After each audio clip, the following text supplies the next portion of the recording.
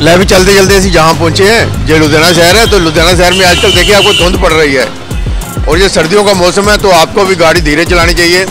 लाइटें पड़ती हैं और उसके बाद जहाँ पर फोग है, धुंध है वहाँ पर तो आपको बिल्कुल स्लो कई बार स्लो आप चलाते हैं तो लेकिन आगे कहीं पार करके लोग गाड़ी खड़े होते हैं तो वहाँ भी एक्सीडेंट का खतरा है। वैसे तो वाइड करना चाहिए इन दिनों में, जब जो धुंध वगैरह पड़ती है और गाड़ी जितनी स्लो हो सके, उतनी स्लो चलाइए अगर आपको दिखाई नहीं दे रहा। लेकिन आले माले जितने भी ये सर्दी के दिन हैं, आपको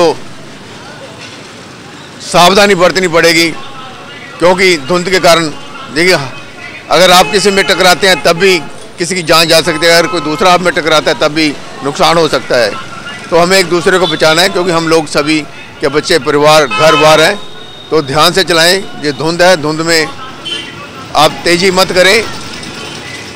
काली अगे टोए, कहते हैं ना तेज रफ्तारी, मौत की तैयारी, ये तक स्लोगन भी बने हुए हैं। लेकिन जहाँ पर हम देखिए, आप धीरे चलाएँ गाड़ी, और गाड़ी कई बार सड़क पर लोगों ने पार्क की होती है।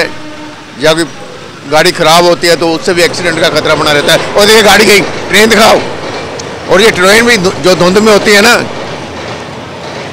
ये भी रुक जाती है आजकल। धुंध में भी ट्रेन भी नहीं चलती। कई ट्रेनें कैंसिल हो जाती हैं। तो ये चैनल हमारा सब्सक्राइब कर दीजिए।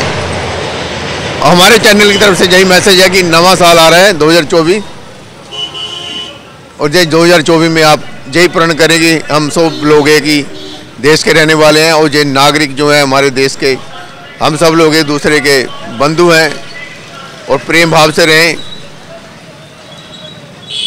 यही हमारा भी मैसेज है और आप भी यही सोचें कि गाड़ी वगैरह धीरे चलाएँ। ठीक है दोस्तों? जहाँ रुकते हैं, भैया आपसे बात कर लेते हैं। चले बंटी, तू भी यार घर जा अपने, हैं। यहीं पर घूमते रहते हैं हम लोग। घर से भी गाड़ियाँ पड़ते हैं, या तुम यहीं पर दो चार गलियों में घूमते रहते हो सारी दिहाड़ी। चलो, कोई बात नहीं।